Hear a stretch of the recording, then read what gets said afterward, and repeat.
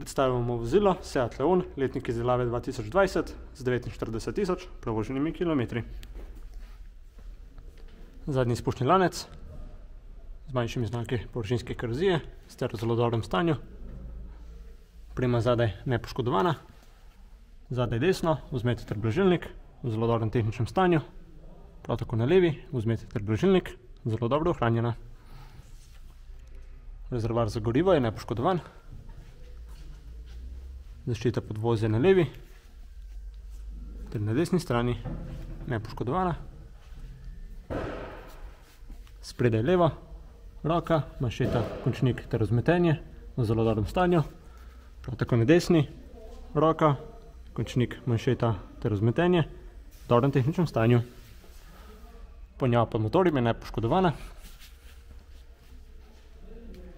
Odbijač spredaj. Brez poškodb in brez prask, v odličnem stanju. Platišče spredaj levo, brez poškodb in brez prask. Pnevmatika letnik dva tisoč devetnajst. Štiri cela pet milimetri profila. Prag vozila na levi je nepoškodovan. Platišče zadaj levo, brez poškodb in brez prask.